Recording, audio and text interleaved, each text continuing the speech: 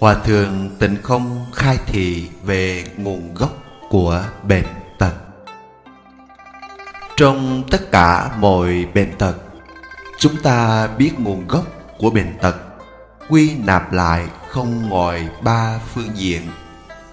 Thứ nhất là ăn uống, sinh hoạt không điều độ. Ngày nay chúng ta gọi là không vệ sinh Dẫn đến bệnh tật. Bệnh này là phải tìm thầy thuốc. Thuốc men có thể giúp đỡ được. Thứ hai là oan gia trái chủ tìm đến. Giống như quốc sư Ngộ Đạt bị một ghẻ hình mặt người. Đây là thuộc loại này. Trong Phật Pháp gọi là phi nhân. Người thế gian gọi là bị oan quỷ nhập. Chúng tôi ở trong và ngoài nước. Thường hay gặp sự việc này. Họ tìm đến tôi. Gặp phải trường hợp này Thì phải làm như thế nào? Bị những loài oan quỷ này nhập, Chúng ta phải hòa giải. Phàm là gặp phải loại này, Đi khám bệnh, uống thuốc, Chỉ là giúp được chút ít thôi chắc chắn không thể trị khỏi. Việc quan trọng nhất là tụng kinh, bái sám để hòa giải. Như lương hoàng sám, từ bi tam bồi thủy sám. Những loại này là thuộc về hòa giải. Nếu đối phương tiếp nhận hòa giải, thì họ liền đi. Bệnh của bạn sẽ khỏi ngay. Thứ ba là bệnh nghiệp chướng. Đây không phải oan gia đối đầu, Mà là bản thân tạo tội nghiệp quá nhiều, Nên bị nghiệp báo. Bệnh này rất phiền phức. Thuốc men không thể chữa trị, Hòa giải cũng không được. Phật dạy chúng ta sám hối. Trong thập đại nguyện vương Bồ Tát Phổ Hiền nói là sám trừ nghiệp chướng. Sám từ đâu vậy? Sám từ trong tâm. Đoạn ác tu thiện Sửa chữa lỗi lầm, Thì bệnh này liền có cơ hội chuyển biến, Chuyển nguy thành an. Hai loại bệnh phía sau này, Dùng phương pháp đoạn ác tu thiện đều vô cùng có hiệu quả. Đặc biệt, một người thật sự quay đầu, biết được mình khởi tâm đồng niệm, lời nói, việc làm đã sai rồi, triệt để sửa chữa lỗi lầm, thì bệnh nghiệp chướng sẽ được tiêu trừ. Tức là oan gia trái chủ cũng sẽ không tìm bạn kiếm chuyện nữa. Người thiện thì mỗi niệm vì xã hội Mỗi niệm vì chúng sanh. Cho nên phi nhân cũng được phước. Họ không những không hại bạn, Mà còn đến bảo vệ bạn. Cho nên, Trong đồng tu chúng ta, Khi đang niệm Phật, Tụng Kinh, Cảm giác bên cạnh có những phi nhân này thậm chí là tự mình thấy sợ gai tóc. Thì không nên sợ hãi. Quả thật là bên cạnh bạn có. Có thể cũng không phải là ít. Nếu ít, bạn sẽ không có cảm giác rõ rệt như vậy. Vào lúc này, bạn chân thành niệm phật, tụng kinh, hồi hướng cho họ chính là bạn đang siêu độ họ. Đọc kinh cho họ nghe. Họ nghe xong sẽ giác ngộ. Giống như trước đây, thiền tông đại sư huệ năng tình cờ đi ngang qua cửa sổ nhà người ta. Trong nhà có người tụng kinh kim cang. Ngài vừa nghe qua liền hiểu rõ. Ngài liền giác ngộ trong cõi quỷ.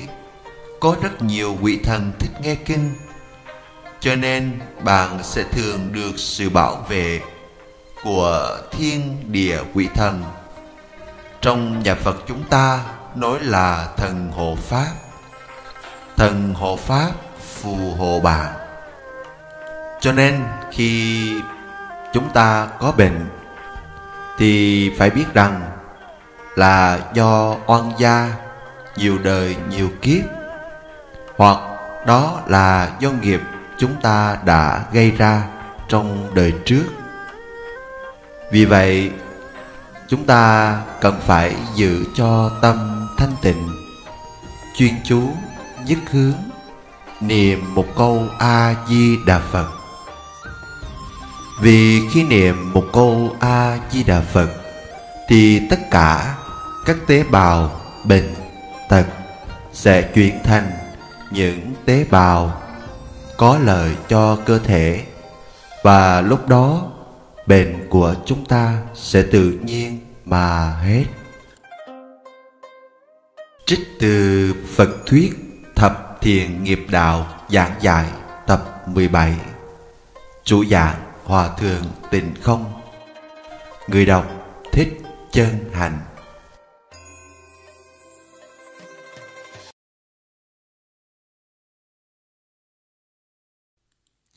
Nguyện đem công đức này Trang nghiêm Phật tịnh độ Trên đền bốn ơn nặng, Dưới cứu khổ ba đường.